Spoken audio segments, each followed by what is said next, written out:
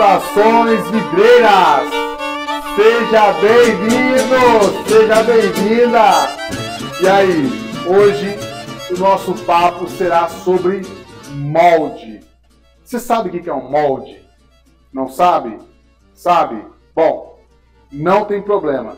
A gente vai ver bastante sobre essa modalidade de medição que não é possível ser medido apenas com trena, altura, largura ou em X. Então, o que é um molde? O molde, na verdade, é nada mais, nada menos que você copiar um vão para ser cortado um vidro. Então pense o seguinte: o cortador de vidro normalmente não vai até a obra. Então não tem como ele colocar uma chapa de vidro naquele vão torto e modelar. Então o que, que você tem que fazer? Mesmo que você seja o cortador, você tem que copiar então esse vão, normalmente em um material duro, né? Por exemplo, como esse Eucatex aqui, que é um material duro, de aproximadamente de 3 a 4 milímetros, para que você consiga copiar este vão nesse Eucatex para que o cortador possa cortar o vidro, então vai esquecer da, da trena e vai cortar o vidro mediante ao Eucatex, ou no caso, ao molde, ok? Então, por exemplo, dá uma olhadinha nessa foto. Conforme você está vendo aí, nesta foto nós temos um vão redondo. Agora, eu queria te chamar a atenção para um detalhe dificilmente você irá encontrar um vão redondo de alvenaria. Redondo que eu digo, redondo mesmo. Aquela figura geométrica perfeita. É muito difícil. Mesmo que esse vão tenha sido realizado, tenha sido modelado também em uma forma. Então, é muito difícil. Então você chega muitas vezes no vão, você dá aquela olhadinha e fala, nossa, é redondo.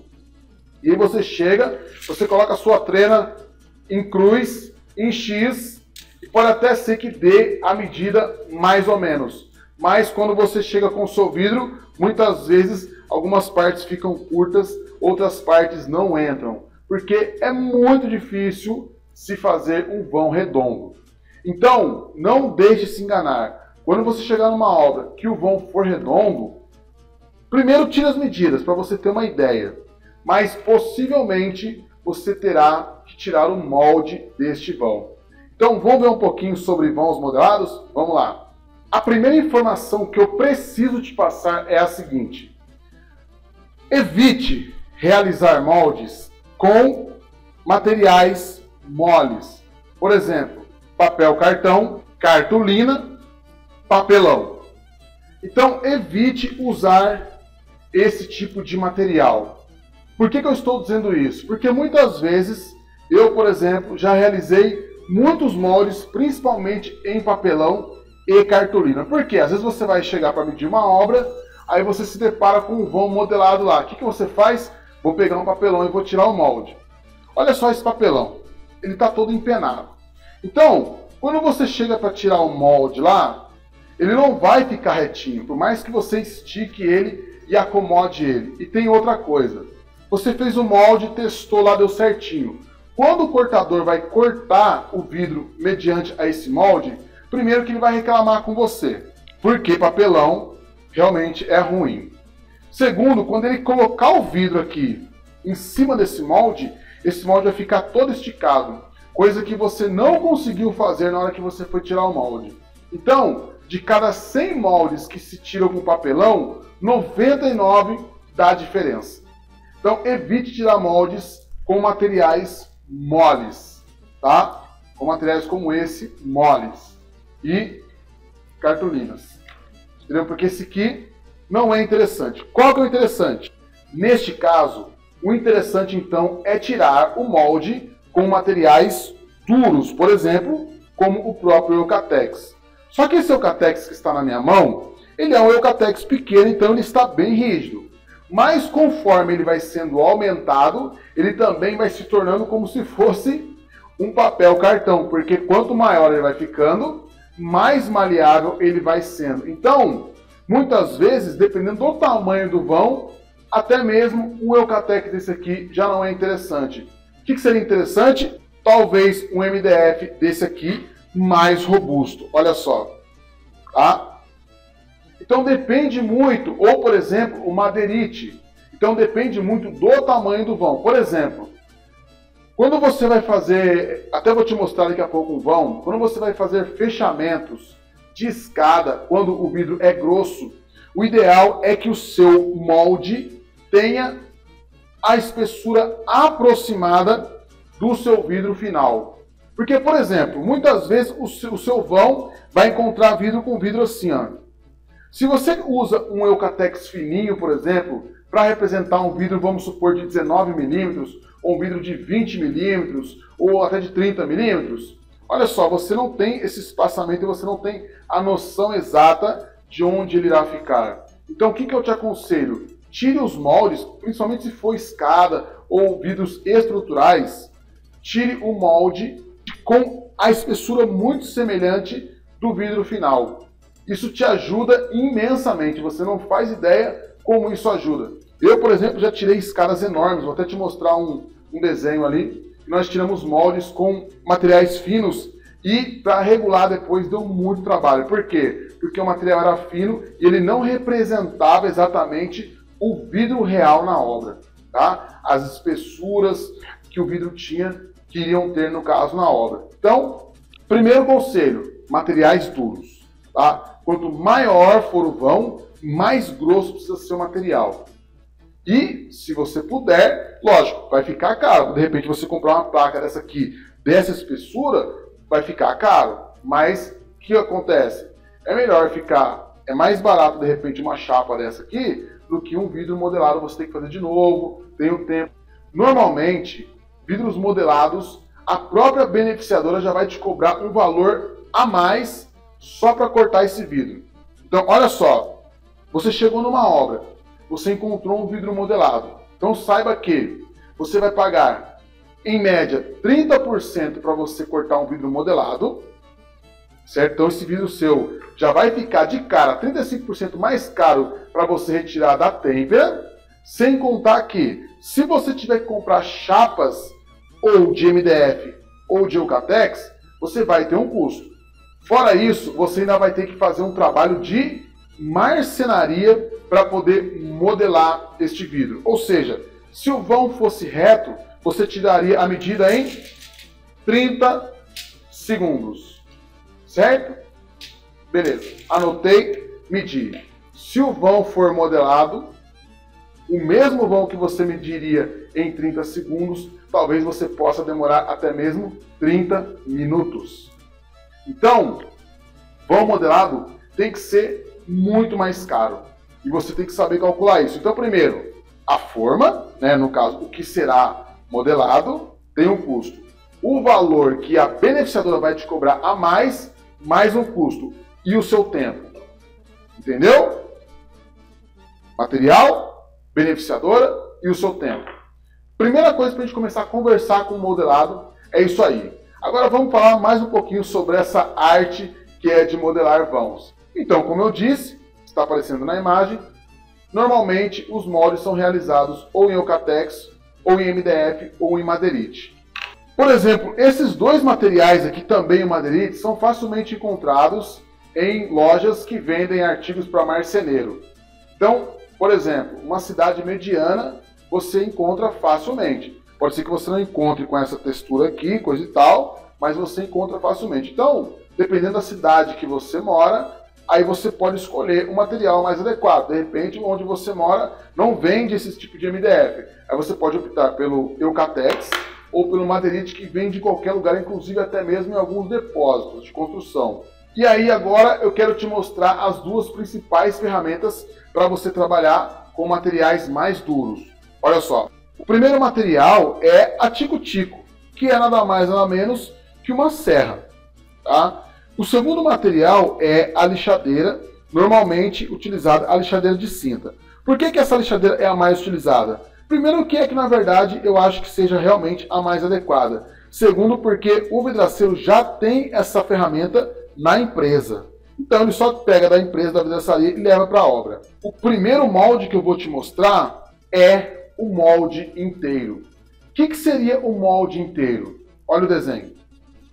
Então, como você está vendo, o molde inteiro é, pega-se uma placa de Eucatex, MDF ou Madeirite e se modela ele inteiramente. Bom, você vai saber a diferença quando você vê os outros modelos. Então, este modelo ele faz da seguinte maneira. Vamos supor, vamos até pegar essa serrinha aqui, ó. Vamos supor que eu fosse modelar isso aqui, tá? Então você encosta aqui o molde, né? Vai pegar um lápis e você vai simplesmente copiar o desenho que está aqui, por exemplo. Depois você vai cortar aqui o seu desenho que você fez e aí de repente você precisa dar uma lixada, dar um acabamento para que você encaixe no vão.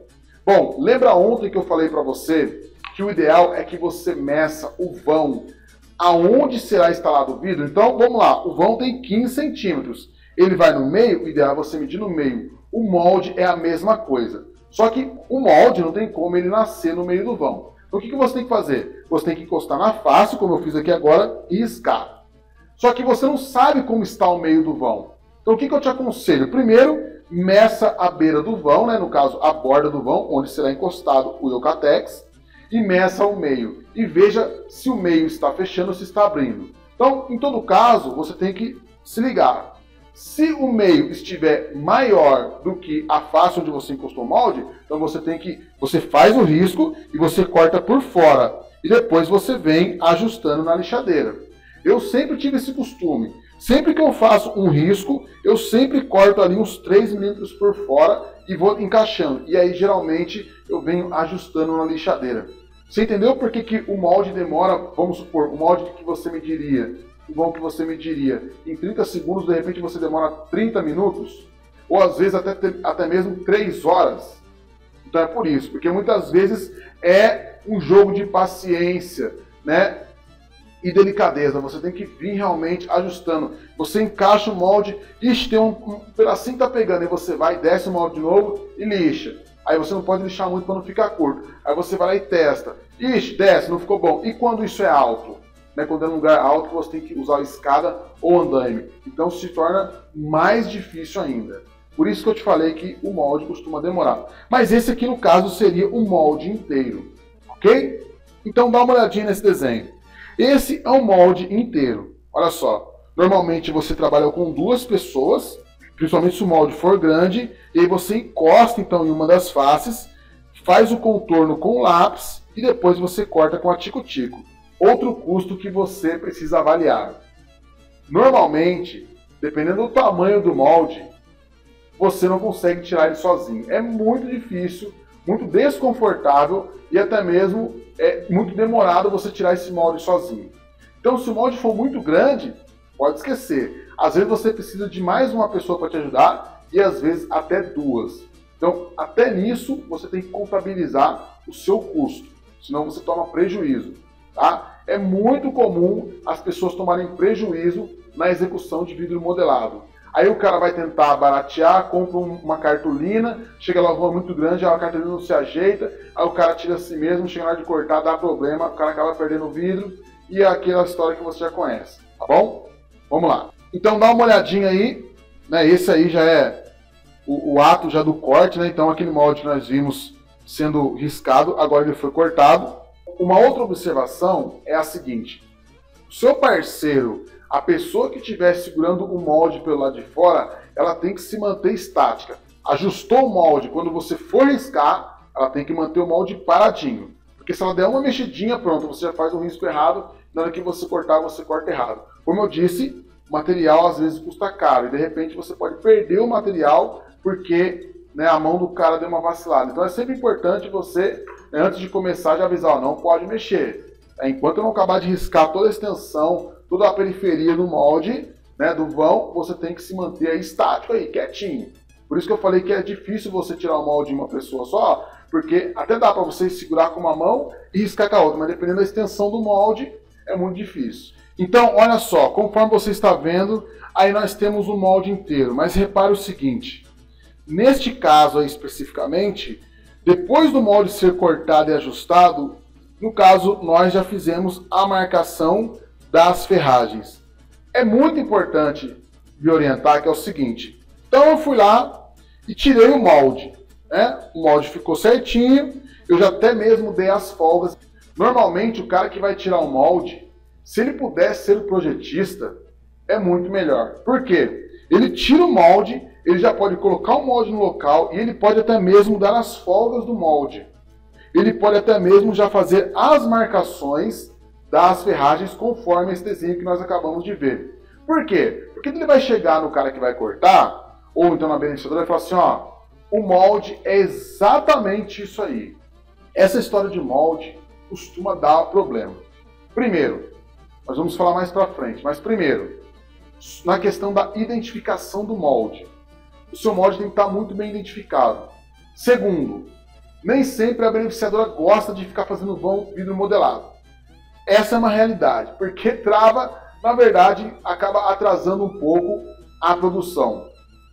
Terceiro, quando você envia o molde lá para sua beneficiadora, dificilmente você vai chegar no cortador e falar: Ó, oh, cortador, aqui, que é o que acontece muito, tá? Na verdade, ó, aqui você tira 3 milímetros, ó, aqui você tira 4, ó, aqui você aumenta um pouquinho. Não, não, não, não, não, não, não.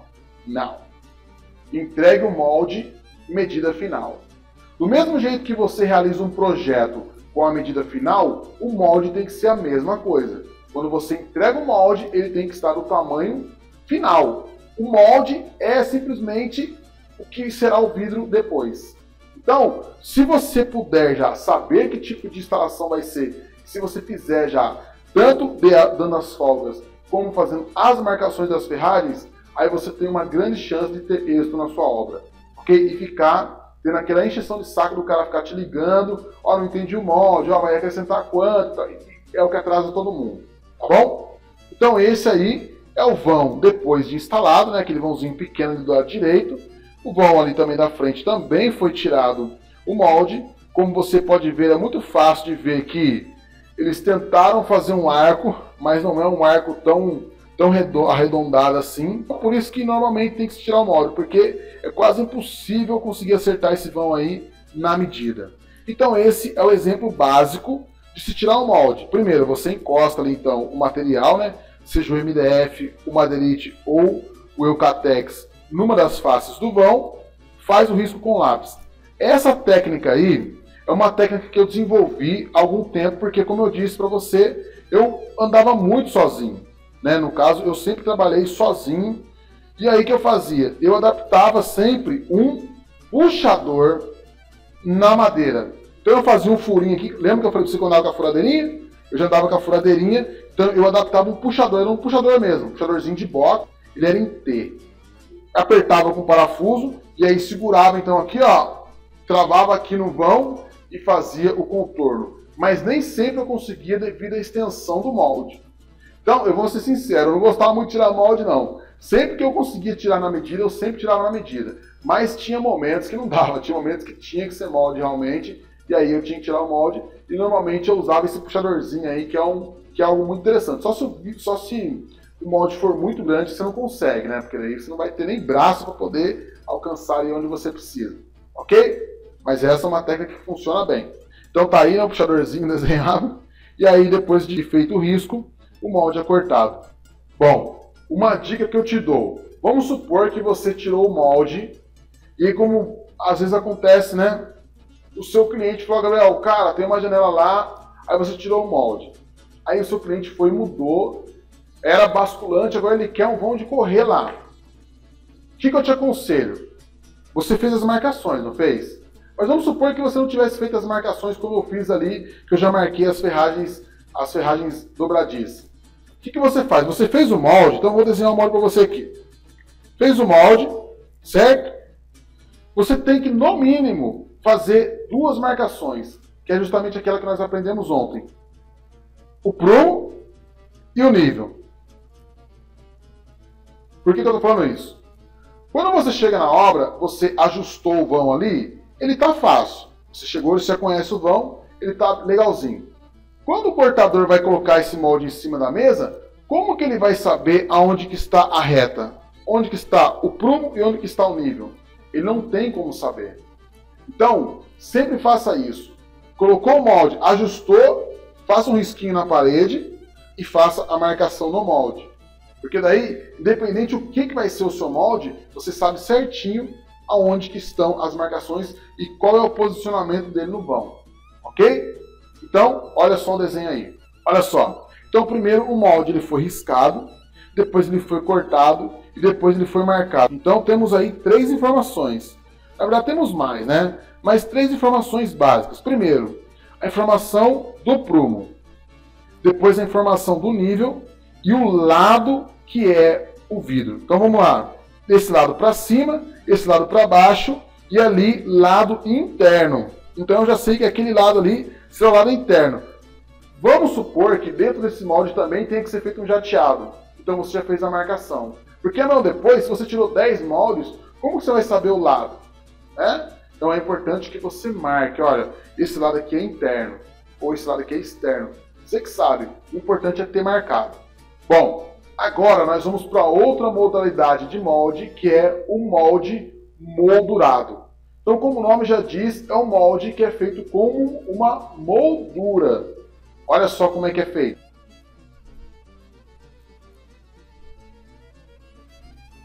Então, este que você acabou de ver é o desenho do molde moldurado.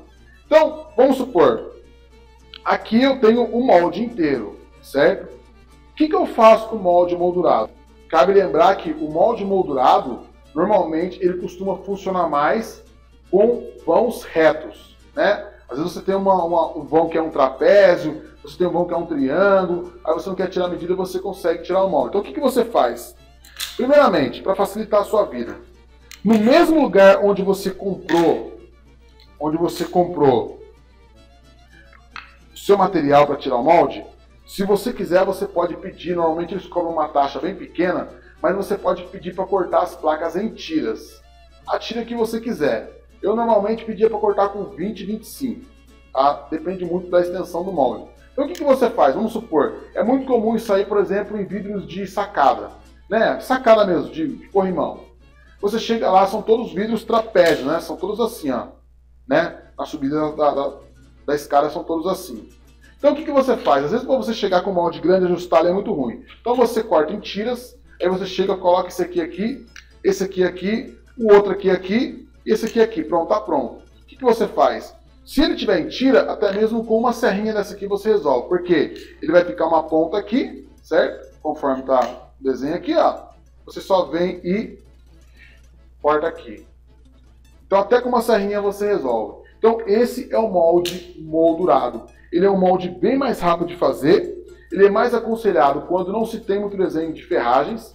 Então por isso que eu falei no, no sistema do guarda-corpo, ele é, é muito ágil. Eu lembro que a gente demorava muito para fazer molde inteiro em guarda-corpo, até mesmo porque aquele, o alumínio de cima é bem mais grosso, não tem como você encostar lá, né? ele fica meio curvado. Então quando você chega com as tiras já de MDF ou madeirite, ele fica muito mais fácil. Uma dica que eu te dou, dá uma olhada. Então aqui, ó, de início, eu só fazia esse molde usando cola. Então eu chegava lá, né, ajustava certinho e colava. Aí tinha que esperar o tempo do contato, só que tem um detalhe. Aí eu fazia 10, 15 moldes, colocava no nosso carro com cavalete. Às vezes esse molde ele dava uma desajustada ou às vezes mesmo ele até descolava. O que, que eu passei a fazer? Até mesmo para ir mais rápido. Depois que eu tinha já ajustado o molde, oh, legal, ficou aqui, eu vinha montando. Já ia passando cola aqui, né, cola de contato. Então, ajustei, só que eu não deixava ela secar conforme a gente faz o contato mesmo. Deixava ela mole mesmo, deixava ela acabava de passar a cola, porque você sabe que essa cola aqui, por exemplo, essa cascola, você passa aqui, passa aqui, espera um pouquinho até ela ficar durinha, aí você faz o contato, né? que é uma cola de contato. Eu não fazia isso. Já passava a cola já direto, até mesmo para poder ajustar, ajustava. Depois que eu ajustava, o que, que eu fazia? Pregava. Olha só, metia o prego para poder firmar. Por quê? Muitas vezes, quando é só colado, ele pode descolar no movimento, ou até mesmo na, na, na questão logística dentro da empresa, ele pode acabar descolando. Ainda tinha outro detalhe que eu costumei fazer. Mesmo depois de colado e pregado, tá vendo esse encontro aqui? Ó? Então ele ficou assim, ó, né? Ele ficou assim, certo? O que, que eu fazia? Ainda pegava um lápis e fazia essa marcação aqui, ó. Por quê? Se amanhã depois ele dá uma mexidinha, e isso pode acontecer, mesmo estando pregado, porque é um material fino, então o prego pode sim dar uma folga. Então, mesmo que ele, esse material desse uma folga, eu tinha a minha marcação aqui que depois me trazia novamente para a posição correta, conforme o desenho aqui. Então, olha só. Então, tá vendo? Ó? A primeira fase, depois de pregado, é você fazer a marcação. E mesmo depois que ele se solte inteiramente, você consegue ter aí a visão do que aconteceu e voltar ele para o lugar novamente. Só uma observação. Olha esse desenho. É o seguinte: quando se opta em fazer moldes com pregos, algo que você tem que ter muito cuidado. Primeira coisa, você tem que bater o prego até o final. Então você não escolhe um prego muito comprido, escolhe um prego já que dê mais ou menos a medida.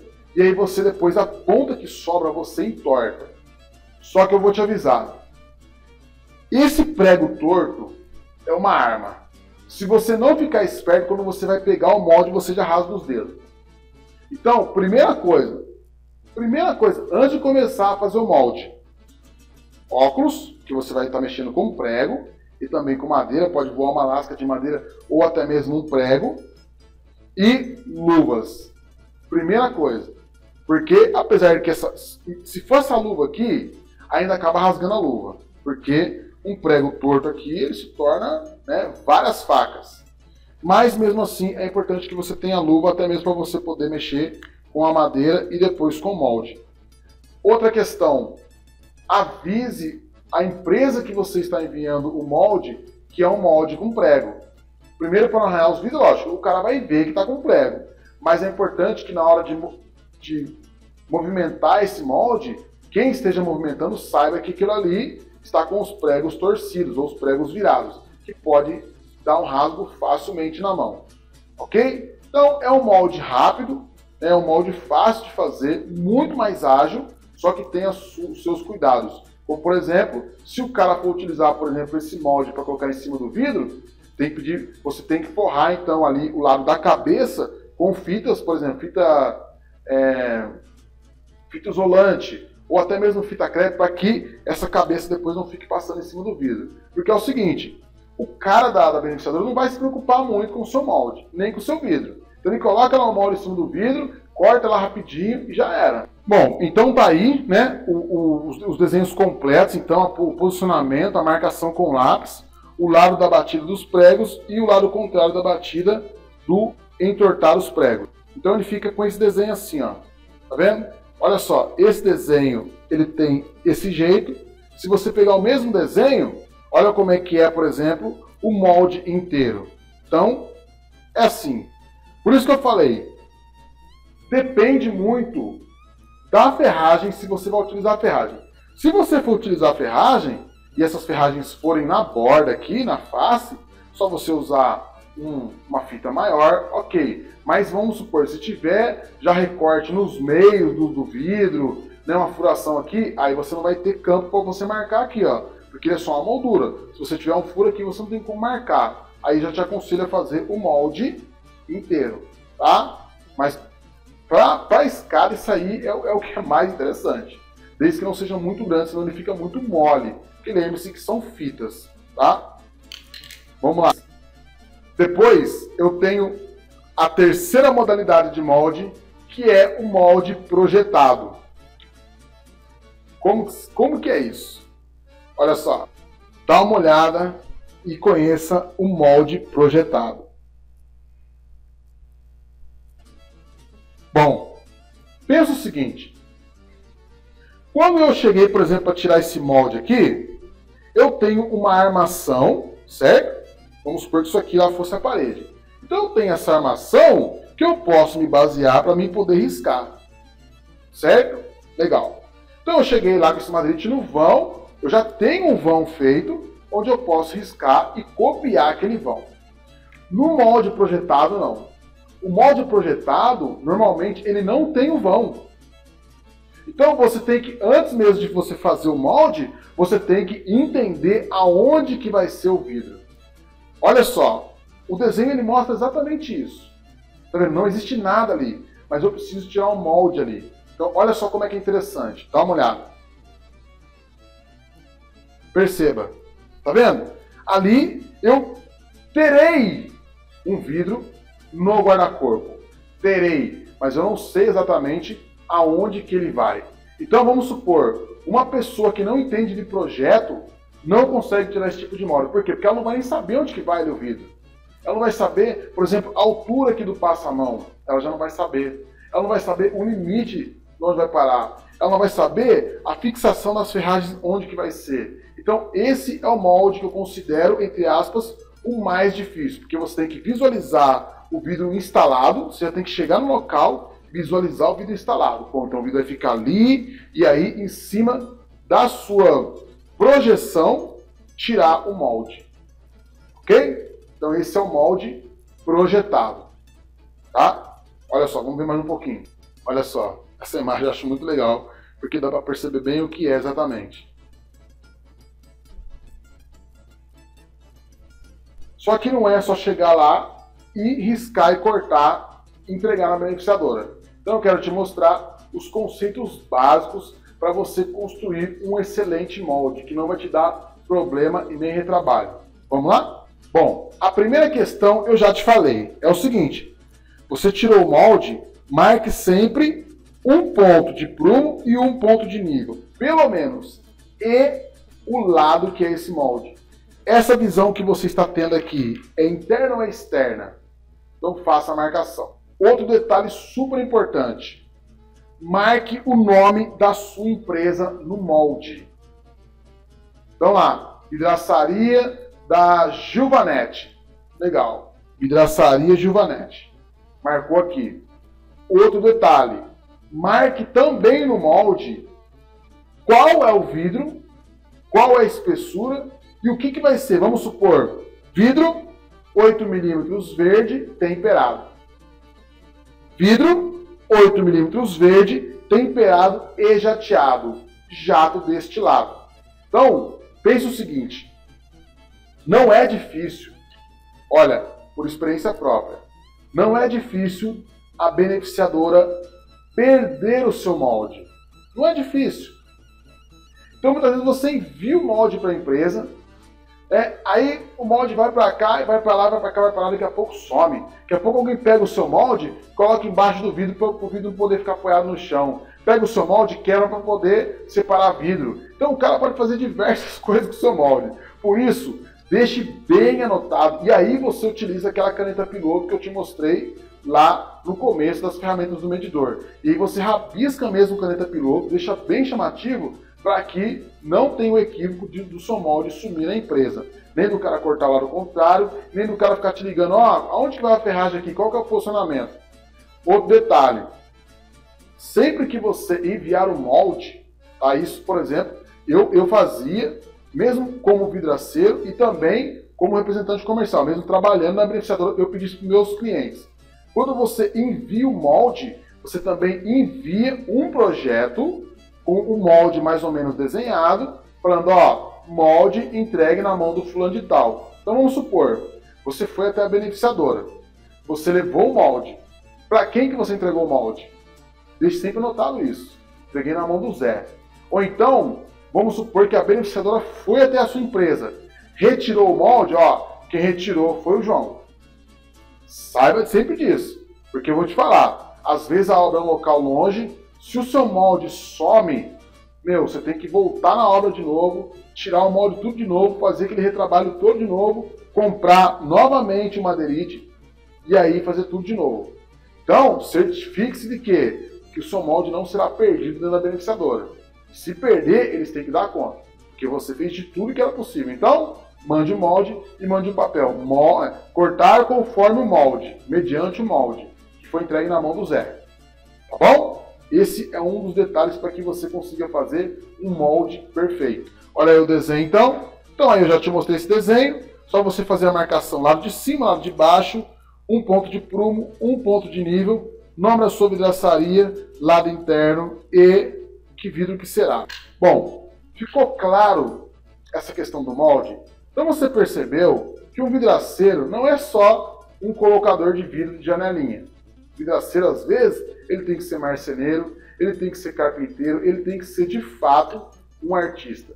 Essa é a vida do vidraceiro que muitas vezes nós não percebemos. Né? Às vezes, para você, por exemplo, fazer um molde, esses dias, por exemplo, fui colocar som no meu carro e para colocar som o cara corta naqueles né, tampões de madeira lá tal. E aí o cara tava cortando e ele começou a falar para mim que se gabar, né? Nossa, tá vendo? Ó, tem que fazer certinho aqui e tal. Eu falei, ah, vamos fazer o seguinte, vai fazer outra coisa que eu vou cortando para você. Ah, mas você sabe? Eu falei, meu, eu sou vidraceiro, rapaz, eu faço isso aí quase todo dia. Daí ele só riscou para mim lá onde tinha que riscar e eu cortei e depois falou, cara, quer vir trabalhar para mim, cara? Por quê? porque realmente eu cortei legalzinho por cada habilidade que a Tico Tico já. Então essa, na verdade, da marcenaria é uma das habilidades que o vidraceiro precisa ter. Agora, nós vamos falar um pouco sobre vãos com diferenças de alinhamento. Dá uma olhada no desenho que eu preparei para você. Então repare só que aqui nós temos um desenho representando um prumo de face. Por quê? Porque eu preciso colocar um vidro, né, fechando este vão, eu preciso tanto da estrutura superior quanto da inferior. Com isso, elas precisam estar alinhadas. Por exemplo, perceba que o muro de baixo, o muro inferior ali, se algum sistema for colocado ali, não vai dar certo. Por quê? Porque, na verdade, esse telhado não foi projetado para se encontrar, para se alinhar com a mureta. Este caso é muito comum. Então o cara faz lá uma sacada, ele faz uma cobertura, mas ele não pensa que ele quer vidro ali. Ele não quer vidro por enquanto. Aí conforme ele vai utilizando a sacada, vai vindo incidência de ventos, de chuva, e aí o cara pensa, nossa, vou fechar aqui com vidro. Só que lembra que eu falei para você? Seu cliente não entende de vidro, não entende de sistema. O que, que ele vai fazer? Oh, Gabriel, cara, eu tenho uma, um fechamento lá, preciso colocar um envidraçamento de sacada, por exemplo. Só que ele não tem estrutura em cima. E aí, esse é um dos detalhes que o medidor precisa estar atento quando for fazer a medição da obra. Neste caso, você vai ter que fazer uma estrutura paralela em cima, certo? Uma estrutura individual que fique encostado na cobertura, mas que seja individual. Isso tem um custo, e um custo muito alto. E muitas vezes não fica bonito, porque você vai fazer aquela estrutura de quê? De alumínio? Às vezes o alumínio não combina com a cobertura que é toda de madeira rústica. Então você tem que negociar. Você vai fazer uma estrutura de alumínio, você vai pedir para o cara fazer uma estrutura de madeira. Então, nesse detalhe, você tem que saber analisar qual é a melhor solução. Então, por exemplo, no caso do desenho, já percebe-se que, que um tubo ali vai ficar meio estranho. Por quê? Porque o telhado está recolhido. Mesmo que você coloque um tubo, ele vai ter que prolongar aquele telhado. Então é mais fácil, às vezes, você falar, ó, o senhor tem que aumentar mais aqui, pelo menos mais uma telha para frente, ou mais duas telhas para frente, já aproveita para o cara fazer uma estrutura compatível, ou então você mesmo bolar uma solução para o seu cliente. Mas é super importante. Chegou ali, bom, esse vão aí está escandalosamente torto. Então você chega, você olha, você já percebe que ele não está reto, que não está aprumado. Mas existem vãos que você não consegue perceber isso a olho nu. E aí ele te engana. Então, independente se você viu ou não viu que está torto, sempre que tem uma estrutura inferior, uma estrutura inferior, vamos lá. Sempre que tiver uma estrutura inferior e uma superior, Confira se elas estão alinhadas. Muitas vezes até a forma é a mesma, mas na hora de colocar o cara torceu assim, ó. Aí não está alinhada, entendeu? Aí faz aquela torção e ele não dá certo. Por exemplo, prédio é muito comum você ver isso. Né? Prédio é normal você ver. Você chega, se você chegar e medir só por baixo, quando você transfere para cima, chega lá, sai fora da, da, da, parede, por exemplo. Até, até mesmo no próprio envisamento de sacada, né, os próprios fornecedores de envisamento bolaram já um perfil que é justamente para isso. Porque, nossa, quantos prédios já não fui medir que chegava lá, eu media certinho, tinha um bom espaço na parte de baixo, quando você subia o prumo, estava fora da parede, você não tinha onde fixar. Aí você tem que fixar um prolongador na parede, né? Que vai, vai te dar uma distância exata para que você consiga fixar depois esse seu sistema no alumínio e não na estrutura do prédio, que seria o mais correto. Então chegou lá, mesmo que pareça, chegue e prumo nele. Mete o prumo, para você não ter problema. Dá uma olhada neste desenho agora. Este desenho foi um caso típico do que eu te falei. Cheguei na obra, tirei a medida inferior, subi o prumo. Não estava batendo. Falei, chamei o dono da obra, falei, senhor, nós temos um detalhe aqui. Está dando uma diferença muito grande. O que, que eu faço? Ou eu alinho por baixo, ou eu alinho por cima. O que, que o senhor prefere? Gabriel, alinhe por baixo e a diferença você deixa para fora. Ainda falou assim, porque quando eu estiver sentado aqui na minha cadeira olhando para a rua, eu quero, não quero ficar olhando para esse negócio torto. Então, quem vê da rua, que fica olhando torto. Beleza. O senhor quer assim? Quer assim. E aí eu fiz um papel para ele, como eu sempre costumava fazer, e mandei para ele o papel mais ou menos como ia ficar. Depois que ficou pronto, ele reclamou. Ele falou, nossa, mas ficou muito torto. Eu não sabia que ia ficar tão diferente assim. Eu avisei. E no dia eu ainda tinha indicado para ele, pessoal, assim, é mais fácil colocar a diferença para dentro, porque para dentro só o senhor, que a esposa do senhor, vai ver. Para fora, todo mundo que passa na rua vai ver. E essa obra é uma obra bem alta, né? E fica bem na avenida do bairro. Então todo mundo que passa ali vê essa tortura aí. E não tinha o que fazer, porque aquilo ali é estrutural. Né? É uma viga estrutural, que ali não tem como descascar, não tem como fazer nada. Então, mas qual foi a minha salvação? Que eu tinha mandado para ele um documento já avisando que ia ficar assim, conforme nós tínhamos conversado na obra. Então, isso acontece muito, muito, muito, muito. Às vezes você chega, tira a medida na parte inferior ali, né, da, da base inferior. Tirou a medida da base inferior, nossa, o trilho vai ficar bem no meio certinho. Quando chega para cima, ele fica bem na beirinha. E aí cai naquele problema que eu te mostrei ontem também. Se ficar muito na beira, o substrato pode ser que não aguente estoure.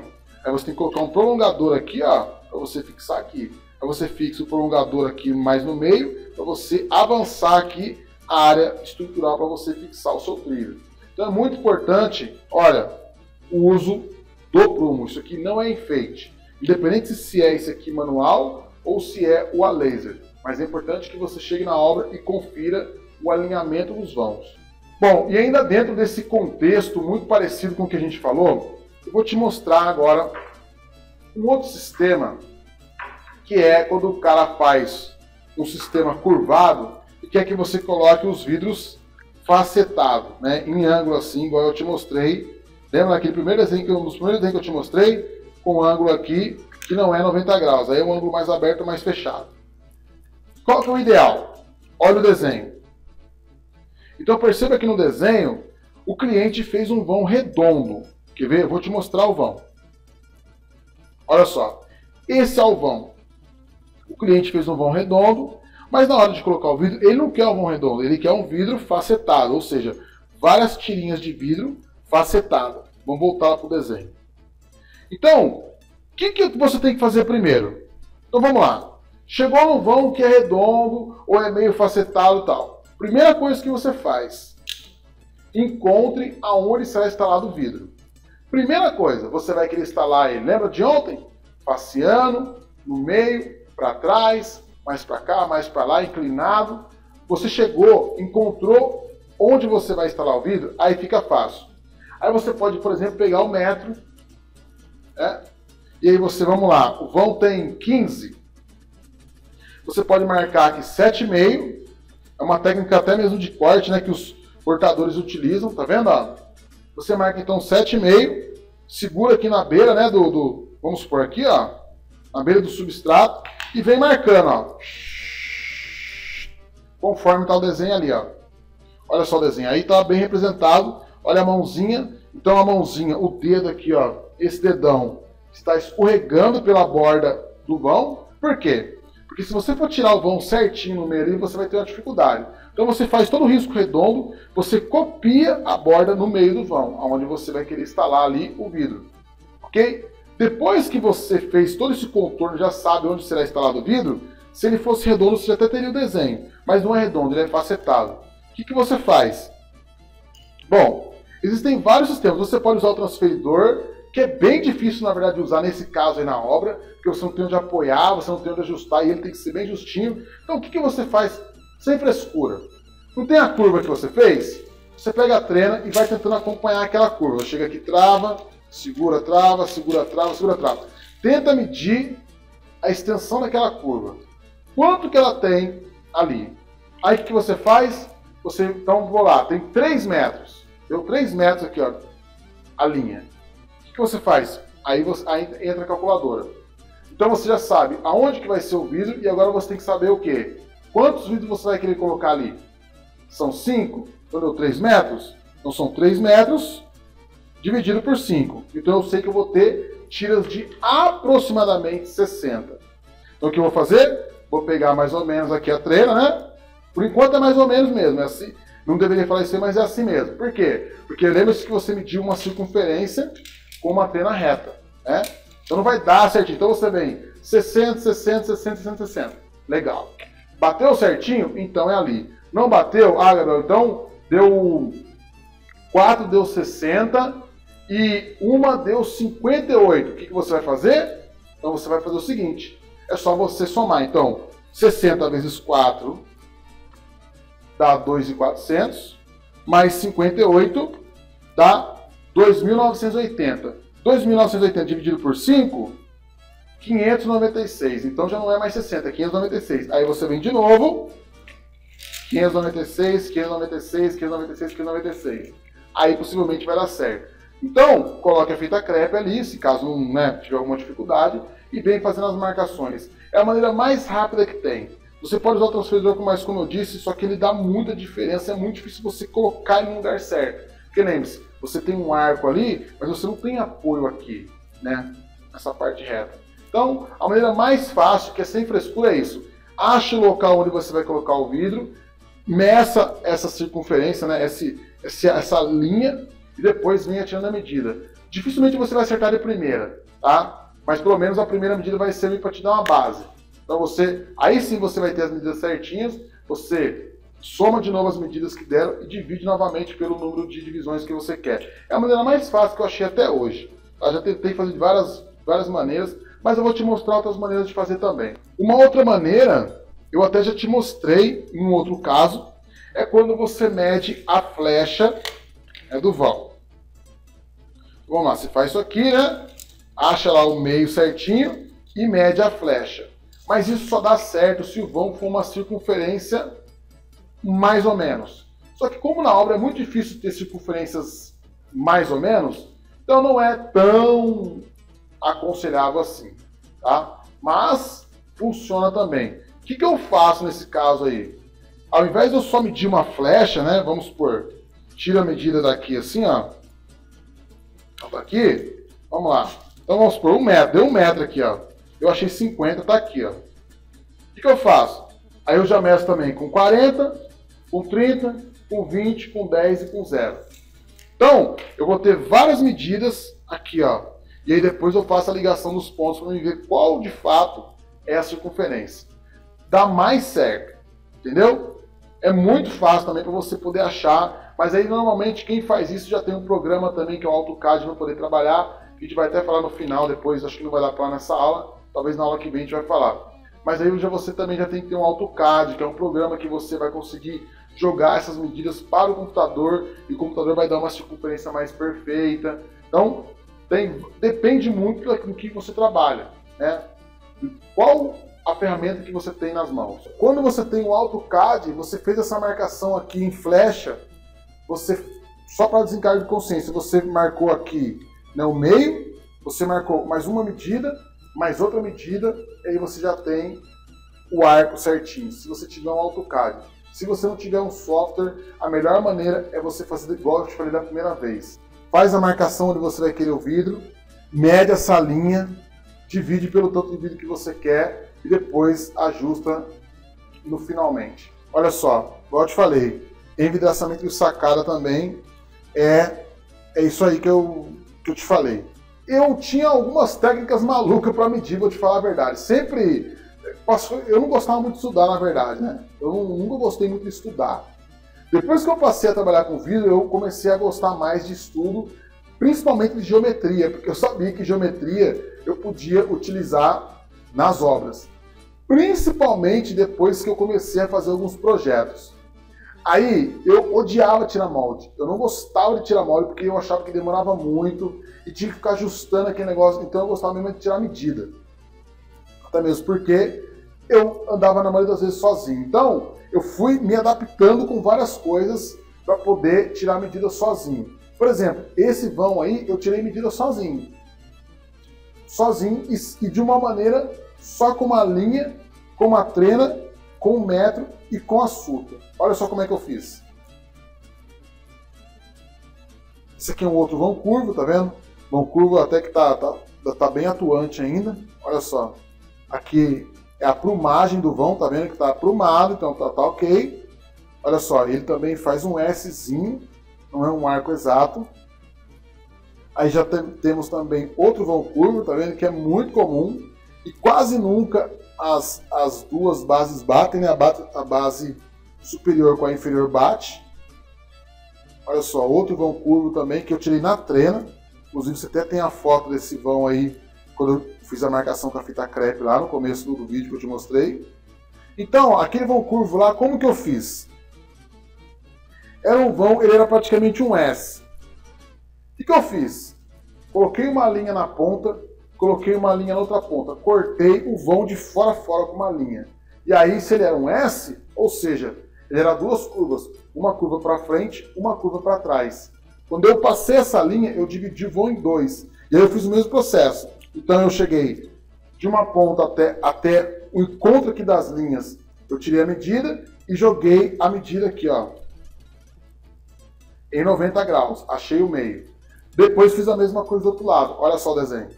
Era um S, se transformou, lógico que não era tão perfeito assim, mas dava para tirar a medida. Então, eu transformei em duas curvas, achei aqui a medida do 1 até o 7, coloquei aqui, vamos supor onde está o 4 aqui, em 90 graus, e depois só vim dividindo e usei o transferidor, como você está vendo aí. Aí foi chupetinha, que daí deu certinho. Deu muito certo essa medida aí. Mas isso aí você vai pegando a prática conforme vai passando o tempo. O ideal é, vamos supor, se você não tem tanta habilidade de medição, começa medindo o básico. Altura, largura, X, depois você vai ousando mais. Se você não tiver muita habilidade ainda de fazer esses, esses, esses desenhos de geometria, faz no modo simples. Tira ali a medida, como eu falei, no meio do vão, onde você vai querer colocar o vão, e vem medindo realmente com a trena aqui, ó. ó e travando ela, vem medindo, medindo, medindo, e aí você faz aquele sistema da medição. Então, isso aí já é uma medição mais avançada, e se você tiver um software, é até melhor você faz com mais precisão. Tá? Mas é bom que você vai ficar sabendo. De repente você já está no estágio mais avançado e aí você só precisa de um empurrãozinho para poder ser um, um vidraceiro aí do século 21. Beleza? Bom, então nós vimos no primeiro modelo que o vão era curvo, mas o cliente não quis curvo, ele quis facetado, né? ele quis várias tirinhas de vidro retangulares. Mas e quando o cliente quer um vidro curvo? Olha só, Vamos dar uma olhada no desenho. Então peguei o mesmo vão para te mostrar aqui. E como que você faz a medida?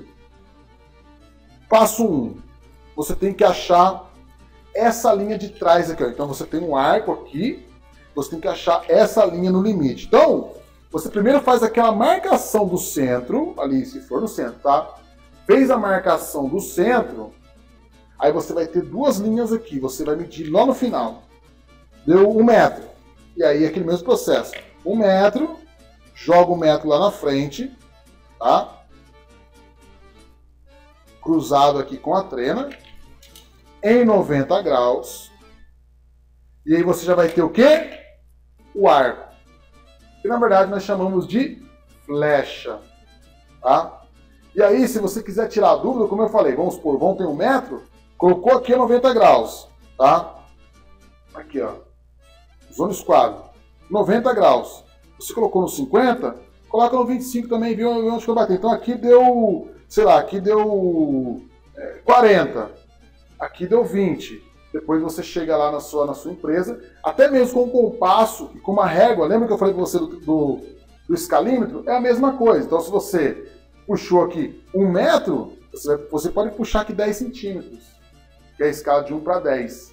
Você puxa 10 centímetros e vai fazendo o contorno certinho com o próprio compasso, para você ver se está dando certo. Mas basicamente, vidro redondo é assim que você mede. Corda, flecha. Tá? Vamos dar uma olhada. Então lá no vão 3, ó, pode ver que já está tudo marcado, tá vendo? Ó, no vão 4, você já tem a área total, no vão 5 você já tirou a medida de trás. No vão 6 você já fez o cruzamento. No vão 7 você já dividiu os vãos. No vão 8 você já praticamente já tem tudo. Qual que é o vão 9? Vão 9, então você já tem só o arco. Agora você tem que medir a altura. Quais são as alturas? E você vai fazendo aquelas, lembra de 50, 50 centímetros? Altura, altura, altura, altura, e aí você já tem a medida do seu vão. Não tem muito segredo, na verdade, tirar a medida de vão curvo. Tá? Não tem muito segredo. Mesmo que ele seja em S, não tem muito segredo, mas você vai desempenhando essa função aí conforme vai passando o tempo. Beleza? Então aqui, por exemplo, eu peguei um vão que está passando do eixo. É a mesma coisa, você vai pegar ali, você sempre tem que achar o eixo da, da, da, curvação, né, o eixo da circunferência, e você acrescenta então para trás quanto que ele está excedendo do eixo. E aí depois você já consegue fazer a curvação. Também é bem tranquilo tá? não tem muito segredo. Bom, pequenos degraus e sobreposição de revestimento. Agora nós vamos para uma nova fase da medição, mas é o seguinte, vai ficar para amanhã. Olha, a aula de amanhã vai ser muito legal, porque eu vou te mostrar vários detalhezinhos que você encontra na obra que você precisa se atentar. Se caso você não se atentar, se caso algum desses detalhes passa batido, você depois tem muito problema para instalar o seu vidro. Ok? Então, ó, lembrando que nós já estamos chegando já em fase final do nosso concurso, minha obra de arte em vidro. Né? Estamos chegando já ao final. Essa semana ainda eu já vou te falar o novo, do novo concurso que vai ter, que nós vamos sortear as molas Marix. Espero que você participe. Então é isso aí. Ó, continue participando das aulas, continue nos mandando as suas perguntas que eu, como eu disse, às vezes eu não consigo responder a todas as perguntas, mas eu leio todas e catalogo todas. Porque, como eu falei, daqui uns dias esse curso vai acabar, mas nós não vamos parar de distribuir conteúdo para você. Então, as perguntas mais recorrentes, as perguntas que mais são parecidas, nós vamos fazer aulas específicas para responder aquelas perguntas. Ok? Beleza? Bom, espero que você tenha gostado da aula. Meu nome é Gabriel Batista, eu faço parte do setor livreiro e para nós o importante é você saber. Aquele abraço.